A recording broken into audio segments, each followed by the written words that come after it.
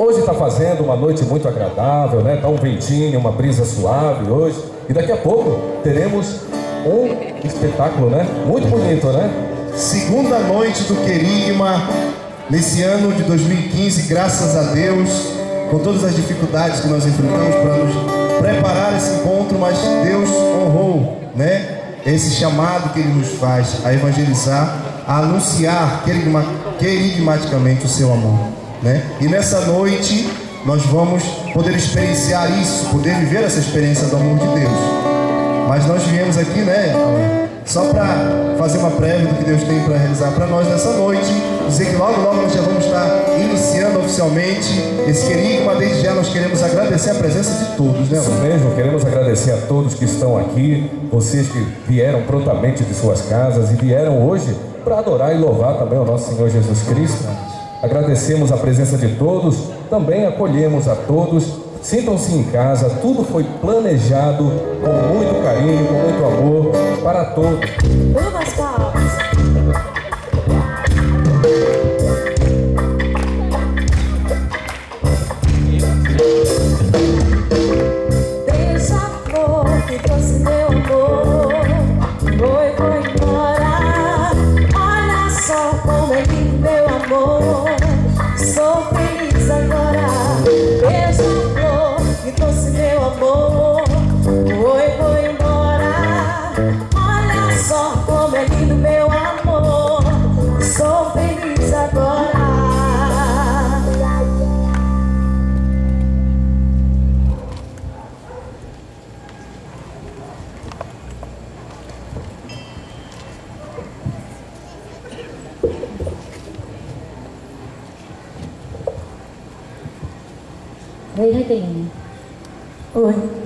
Você tá tão triste hoje?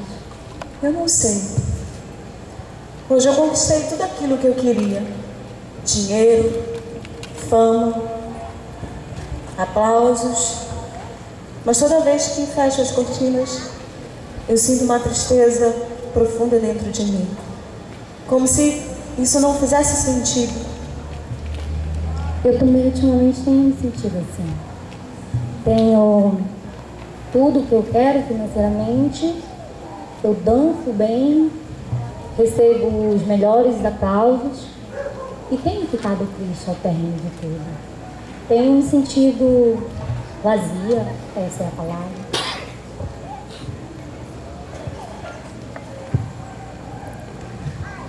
Nossa, que noite maravilhosa!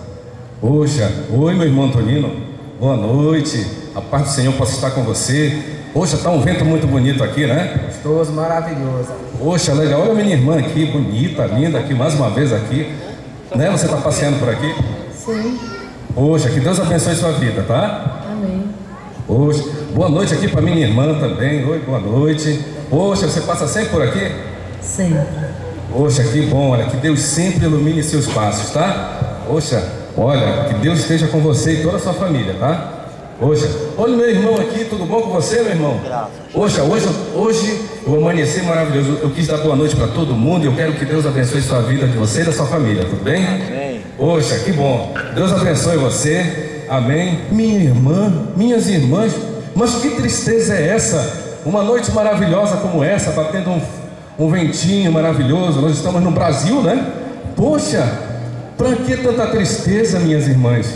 Poxa, nós temos um Deus, um Deus que nos ama, que nos ama com tamanho assim infinito, não tem fim o amor que Ele tem por nós. Ele nos ama tanto que deu o seu Filho em sacrifício, morreu em uma cruz por nós. E nós temos que ter fé, muita fé nesse Deus maravilhoso, para que você possa ser uma mulher nova, mulheres novas, convertidas. Poxa, é tão maravilhoso falar de Deus, o Deus na presença, estando conosco em nossa vida, é uma coisa sem igual. Por isso, nós temos Deus, Jesus deixou o Espírito Santo dele para que nós possamos ser guiados, ser transformados, para que nós possamos ser pessoas melhores. Eu tenho certeza, minha irmã, se você aceitar, se comprometer com esse Espírito Santo de amor na sua vida, a sua vida vai se transformar e você será um testemunho vivo para as outras pessoas. Só de você olhar para as pessoas, as pessoas olharem para você, já vai sentir o semblante do amor de Deus na sua vida. Agora eu te pergunto: você aceita essa felicidade verdadeira? Eu aceito. Sim. Amém.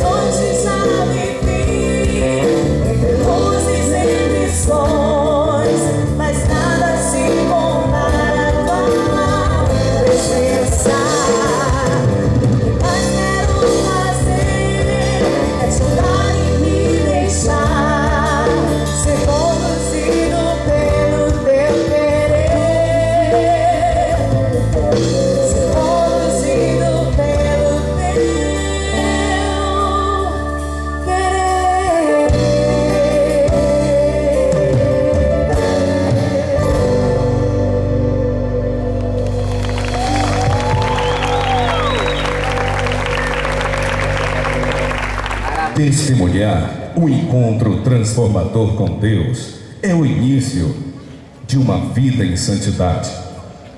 O amor de Deus. Na Trindade Santa foi gerado o amor. Deus, por nos amar sem medida, nos formou a sua imagem e semelhança. Sendo nosso Pai, Ele valoriza e ama cada um de nós.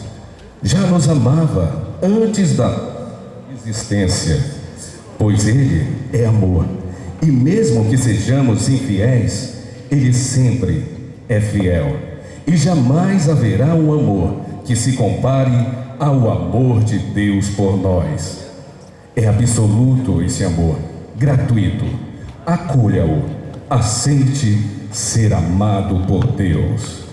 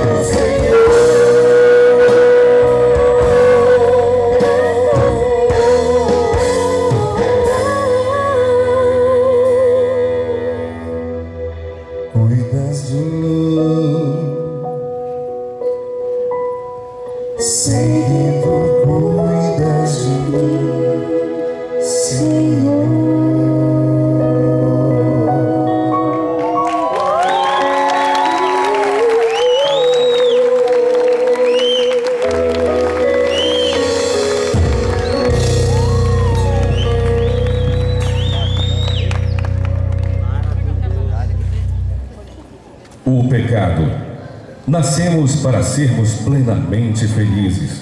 Porém, há um obstáculo que nos afasta da graça de Deus, chamado pecado.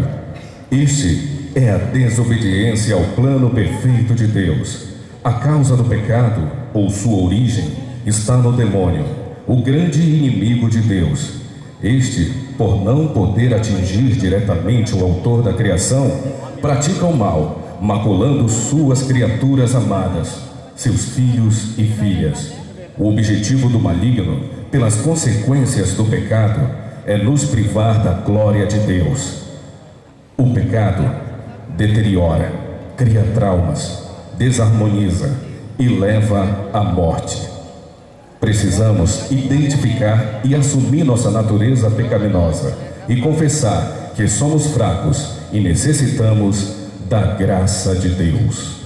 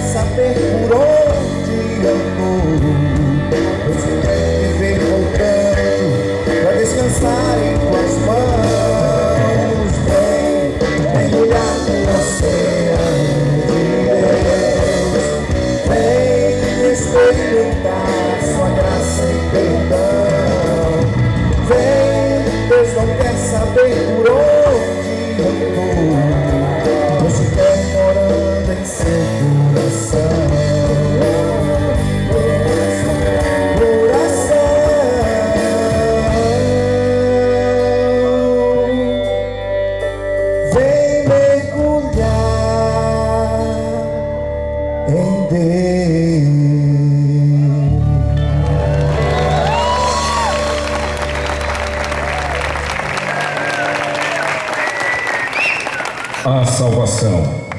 A humanidade não poderia ficar à mercê da destruição causada pelo pecado original. Só em Deus há a solução para sermos herdeiros da salvação. E a sua estratégia foi que, pelo sacrifício de seu Filho, o Cordeiro de Deus, fôssemos salvos do pecado para uma vida em plenitude. O Salvador não só tira o pecado, mas liberta-nos desse mal e nos garante condições para evitá-lo. Portanto, todas as nossas iniquidades Jesus pagou com o preço de seu sangue, e já não há mais condenação para os que estão salvos em Jesus Cristo, nosso Senhor.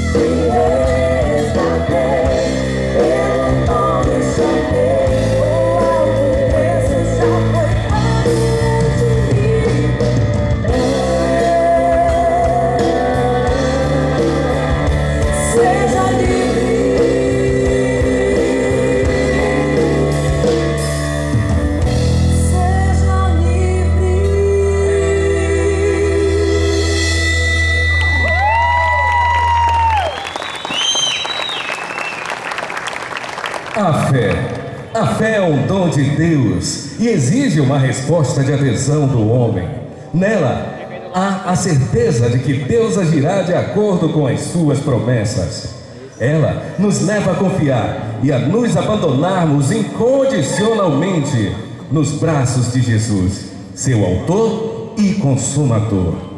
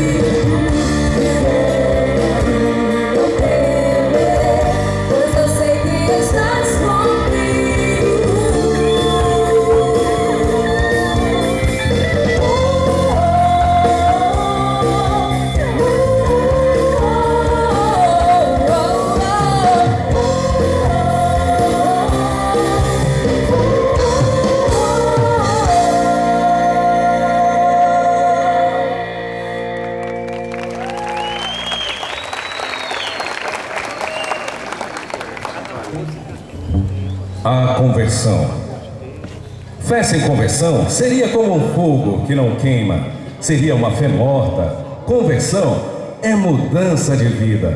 Pela fé, entregamos nossa vida de pecado a Jesus e recebemos dele a vida nova. Não é apenas virar as costas ao pecado, mas voltar a face para Deus, o sol divino que nos transforma. Pela graça da conversão, passamos a viver como filhos de Deus, não só afastados do pecado, mas na alegria festiva de filhos, tornando-nos novas criaturas, renunciando à vida velha e aderindo a um comprometimento com a vontade de Deus. É um momento de decisão de não mais voltar atrás.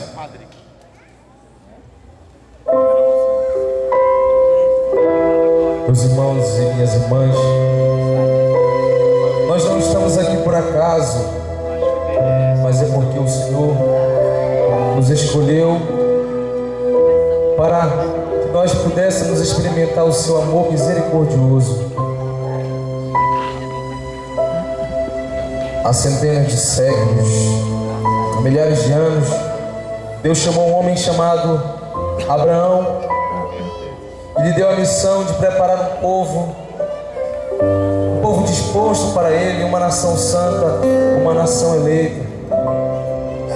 Depois de Abraão, Deus enviou outras pessoas, outros profetas muito ungidos, cheios do seu espírito. Muitas pessoas escutaram as palavras do profeta e o povo de Deus começou a nascer e se multiplicar. Mas, meus irmãos, é bom que nós tenhamos consciência de que Deus não chamou pessoas santas, pessoas perfeitas, não chamou, não congregou um povo, porque esse povo era o melhor. Escolheu um povo marcado pelo pecado, um povo de cabeça dura, um povo do qual os profetas falaram que se tornou pior do que os povos pagãos.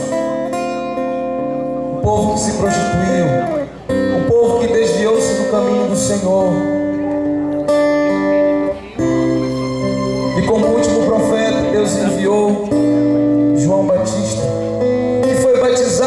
Espírito desde o ventre da sua mãe. Todos os profetas que Deus enviou, até João Batista, demonstram o quanto Deus nos ama e quanto Deus não desiste de nós. E se tem um critério para nós podermos voltar para o caminho do Senhor, é reconhecer a nossa vida de pecado. Somos nós participamos das celebrações dominicais, que frequentamos os sacramentos, que nos desviamos e traímos muitas vezes Senhor.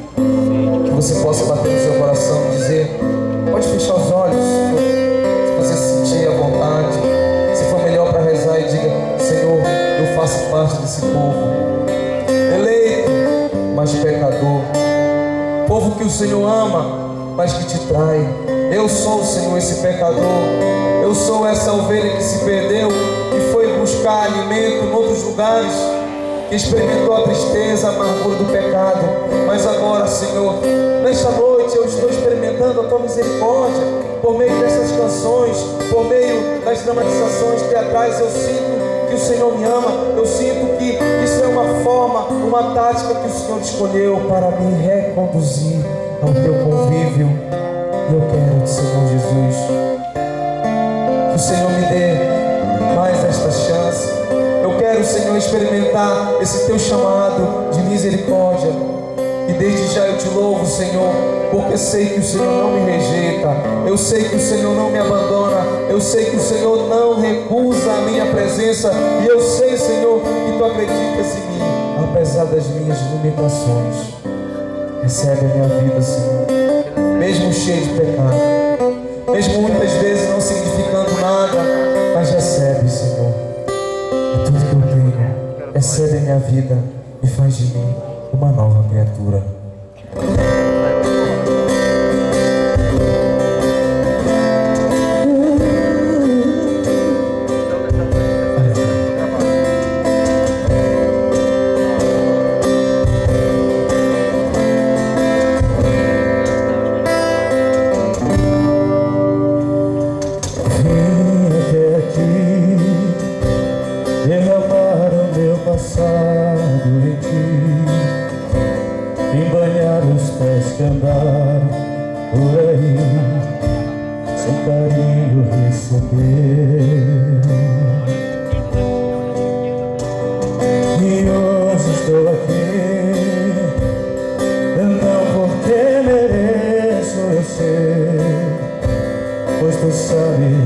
Lord.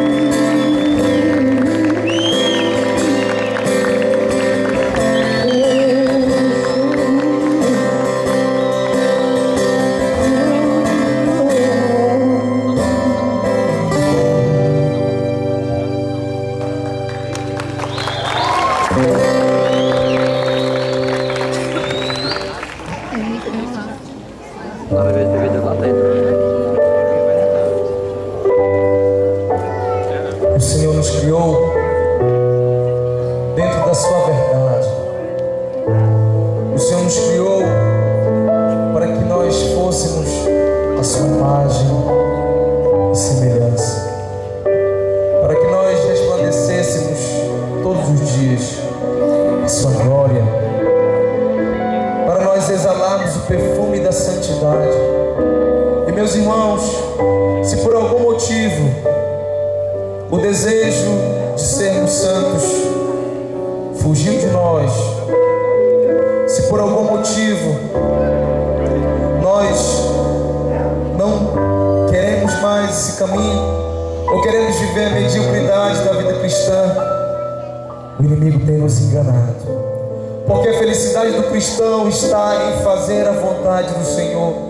A felicidade do cristão está em poder, por amor a Deus, renunciar ao pecado e tudo aquilo que nos leva à morte.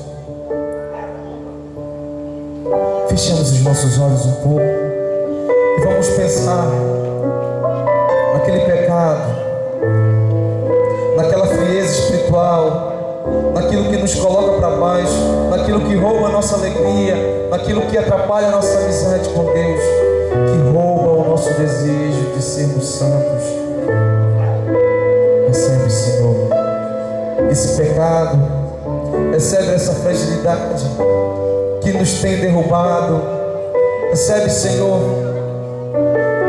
toda a frieza espiritual, toda a dificuldade, toda a frieza que não nos permite querer combater o mal, querer combater o maligno, mas vem hoje nos levantar, Senhor, e vem, re, vem reacender em nós a chama que nos faz desejar ardentemente sermos santos para te agradar, sermos santos para evangelizar com poder, sermos santos para que a nossa família seja banhada no rio do teu Espírito Santo. Dá-nos, Senhor, o desejo ardentemente de sermos santos, Senhor Jesus, como o vosso Pai Celeste é santo. Coloca a mão no teu coração e fala: Senhor, eu quero ser santo.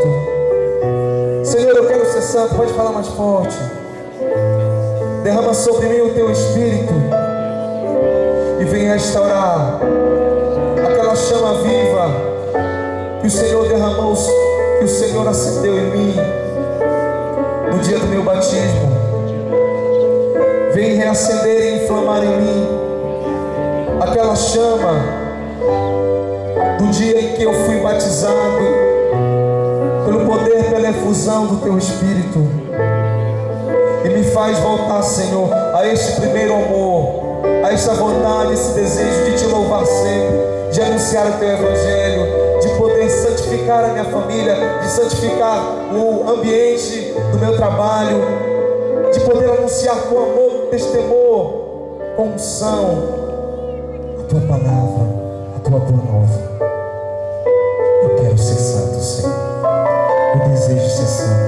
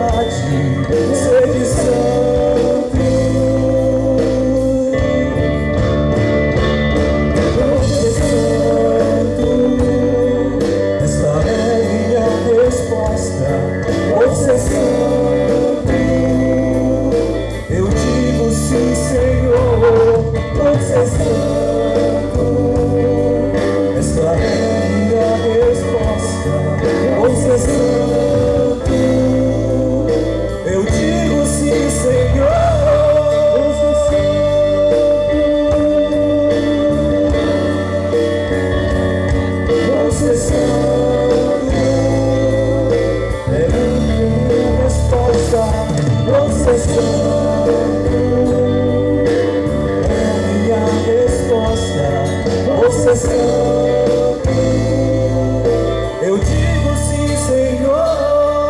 Ser santo. Esta é minha resposta. Você é.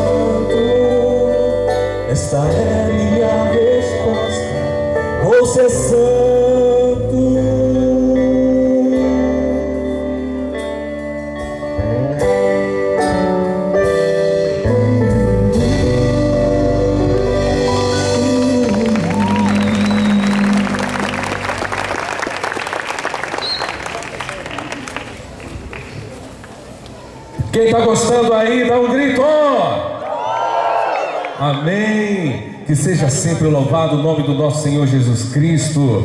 Prova disso é a presença de todos hoje aqui para testemunhar o amor de Deus, a anunciação que o Senhor morreu, ressuscitou e hoje está na glória, está presente conosco. E isso é muito motivo para celebrarmos com muita felicidade. Mais uma vez agradecemos a presença de todos. O show vai continuar já já.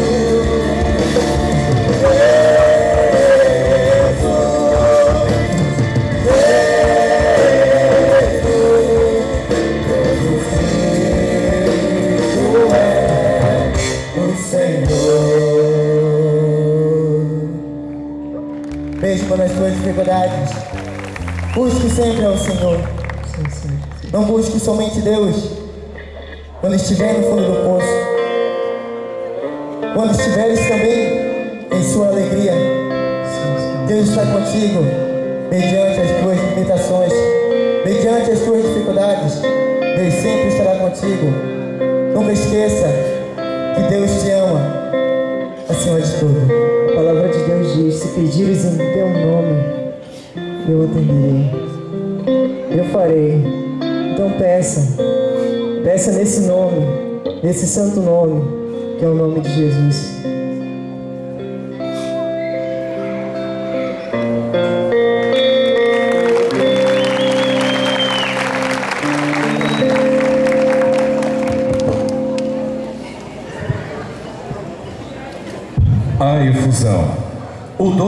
Espírito é derramado em nós pela sua ação transformadora.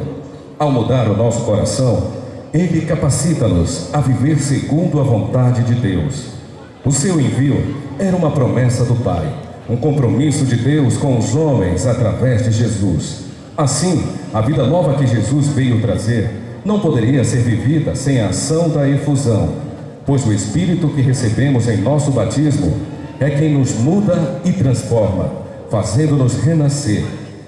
E a completa e perfeita obra da salvação de Jesus não consiste apenas no perdão dos nossos pecados, mas em renovarmos nosso coração pecador em um coração como o de Jesus. E é o Espírito Santo que cumpre isso em nós. A condição única é crer incondicionalmente nele.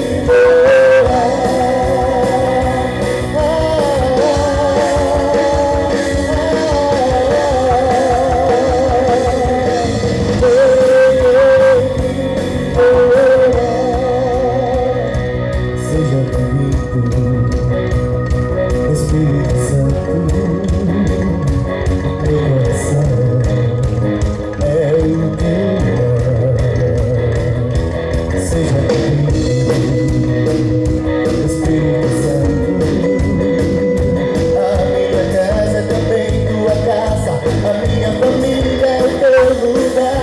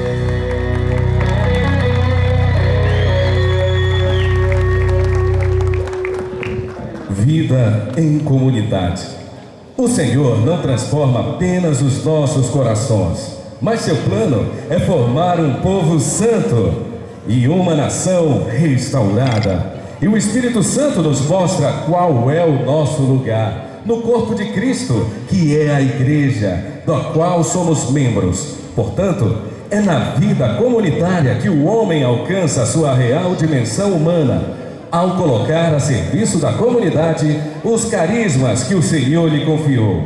E o projeto de Deus é formar comunidades verdadeiras, nas quais reúne a fé, o amor e o serviço, uns aos outros. Cada um de nós é responsável pelos dons que Deus nos deu, e Ele pedirá contas do que fizemos e como os administramos.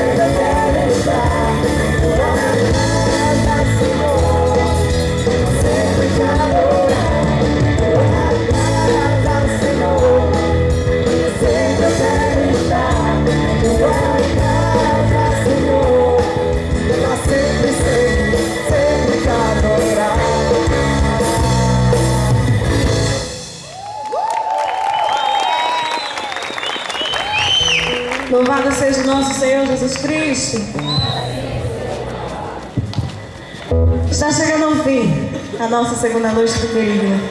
Gostaram? Então eu gostaria de primeiramente agradecer ao Senhor por essa noite. Agradecer também por todas as dificuldades que nós enfrentamos até aqui. Foram muitas. Mas, como eu disse, desde hoje de manhã até aqui o Senhor nos ajudou. Então eu queria louvar e agradecer ao Senhor todos aqueles que nos ajudaram. Diretamente nos ajudaram para a realização deste encontro, que era a vontade do Senhor. Nós estávamos preocupados antes, né? Se era realmente vontade do Senhor que nós realizássemos esse encontro. E nós nos reunimos junto com os intercessores da renovação. E nós perguntávamos ao Senhor se era da sua vontade. E Ele dizia coisas lindas pra gente.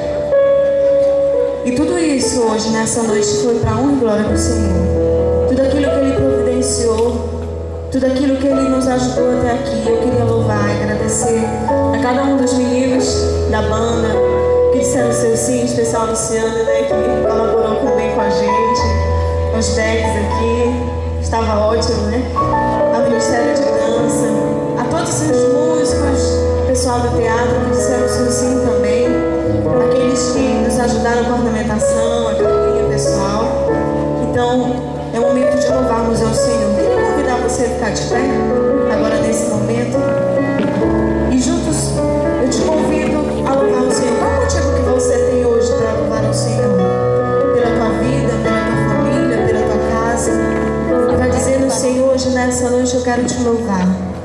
Eu quero bendizer e exaltar o teu nome, Senhor pelas tuas bênçãos derramadas sobre nós hoje, nessa noite deste encontro. Sim, Senhor Jesus, eu quero te louvar por toda a providência, Senhor, que o Senhor realizou. Eu quero, Senhor, exaltar o teu nome e dizer, Senhor, o quanto eu sou apaixonada por ti. Você vai dizendo palavras de amor ao Senhor, eu te amo. Eu te adoro, Senhor, nessa noite. Vai declarando que você não sabe, não consegue viver sem o Senhor. Obrigado, Senhor Jesus. Teu nome. A ti toda a honra, a ti toda a glória, a ti todo o louvor. E não podemos esquecer também daquela que esteve intercedendo por nós. A nossa mãezinha querida, que intercedeu por todo esse encontro. E eu te convido agora nesse momento, também em agradecimento ao Senhor e à nossa mãe, juntos rezarmos uma Ave Maria, em agradecimento por tudo aquilo que Ele nos concedeu nessa noite. Ave Maria, cheia de graça, o Senhor é convosco. Bendita sois vós entre as mulheres, bendito é o fruto do vosso ventre, Jesus. Santa Maria, Mãe de Deus, rogai por nós, pecadores, agora e na hora de nossa morte. Amém. Não posso esquecer também dos nossos patrocinadores, o Valtinho, Banda, que ele nos cedeu a iluminação, ao restaurante Garden Ajudou. A todas as pessoas. Que é difícil citar nomes, mas hoje meu coração está agradecido ao Senhor. Porque eu sei que a vontade dele se realizou mais uma vez. Então, louvado seja o nosso Senhor Jesus Cristo. Para sempre seja louvado. Mais uma vez pode ser mais forte. Louvado seja o nosso Senhor Jesus Cristo.